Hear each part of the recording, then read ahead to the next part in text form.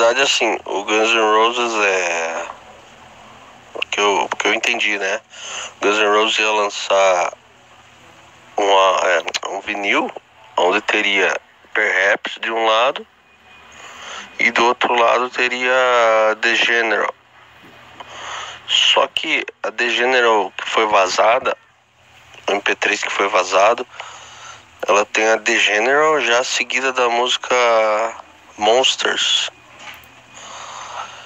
E ela é tipo o mesmo tom, assim, dá a impressão que é a mesma música. Então a impressão que eu tenho é que eles, em estúdio, eles gravaram as duas e iam lançar as duas no vinil como uma música só. Só que eu acho que no meio do caminho eles tiveram a ideia de dividir em duas. E fazer dois lançamentos.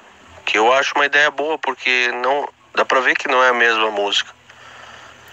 Ela tem a mesma mesmo tom assim, mas é completamente diferente.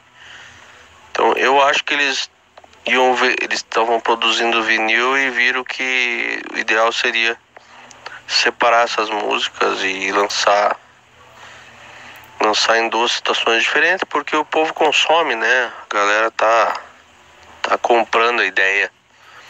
Porque é coisa nova do Guns N' Roses, né? Independente de, de, ser carreira solo do Axel lá no, no, Chinese Democracy, ou ser com o Slash com o Duff, o povo tá sedento por coisa nova, né? Porque é uma banda que não tem uma discografia tão grande, né? Tem pouca coisa lançada.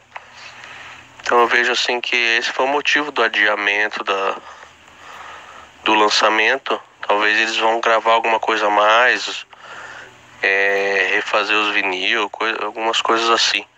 É, é a minha visão, né?